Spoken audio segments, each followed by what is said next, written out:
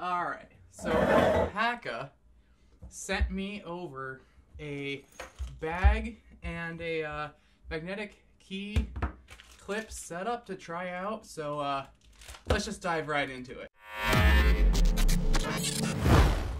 Hello everybody, welcome back to the channel. If you're new here, my name's Josh Schorle and I make product reviews, tutorials, and vlog every once in a while. And today, Alpaka has sent me over their Bravo Sling Max V2. Now, they are not sponsoring this video, but they did send me these over for free and they did provide me a affiliate link. Those will be in the description, so if you want to get 15% off anything that you see in this video or anything else on their site, you can do so using my code JOSH15OFF. So let's go ahead and get into it so I can actually test these out and come back and film the other half of this video. So I'm actually to come to this later because I want to first get into their magnetic clip system, which is like perfect for my love of EDC and everyday carry. And this might actually come in handy, and this is why I wanted to film this first, so I can actually try this out and come back and tell you what I think. So this is their Hub Mod Panel Mini. Now they do have a larger one, but I went with the Mini solely because if you can see, this white beam is where I'm thinking about putting it, and this just so happens to be the width of that wall. So as you can see in the top shot, we get removal instructions. Heaven forbid you need to take this off the wall, but it is just a little bar that you take off and it's got some adhesive on the back and you can just apply that to your wall or wherever you're putting it. And then you get your little hub keychain. Slide this right on out. It says pull on it. We can just pull that off and it's magnets, which is oh, so fun. Just like boop, boop. No. But then you can clip this either onto you or in your bag. So then if you put this on your keys, you just mount it to the bar and then they're on your wall and not on your desk, which is why I'm wanting to try this out. So moving on, boop, I'm excited and I feel like the irony is that after making my previous bag review and being upset that there wasn't USB-C, Alpaka has USB-C. You can do USB-C if you want, you don't have to, and they give you that option, and it's really sweet. Let's just get into the big pocket, because that's where all the fun stuff is. We got our strap because this is a sling bag. And so then, like I said, they provide you two cables. This allows you to put in a battery bank in here and then you can just attach your phone or your cable on the outside to then charge your phone. Let's just get into that right away. Up here is the port for where you can put in your USB or USB-C female and on the outside, they actually provide a SIM tool. Now, admittedly, when I was trying to find this, I mean, I knew it was there, but I felt like I was gonna break it.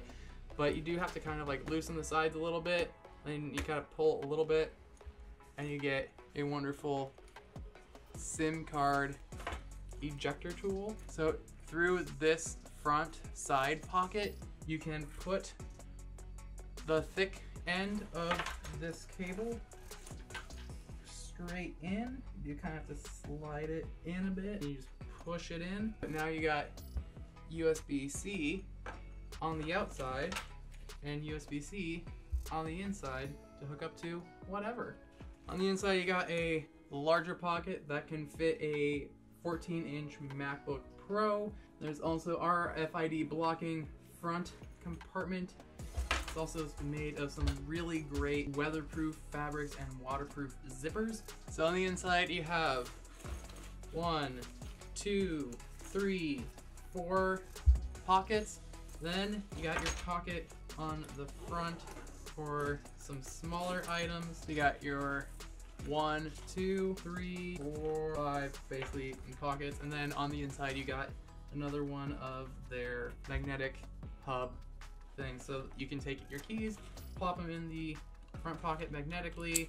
You don't have to worry about it. They also have one last pocket on the back, probably even fit like a small tablet in here. getting back to the straps and how everything is magnetic. It's got these like two circular whatevers, and then they just, just slide right in, and just like that.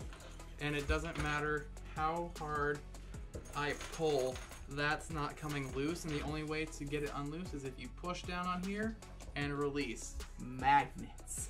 This is also magnets, so if I just slide it, it comes off super easy, but you can see that it's just magnets and it goes right in and it doesn't matter what I do.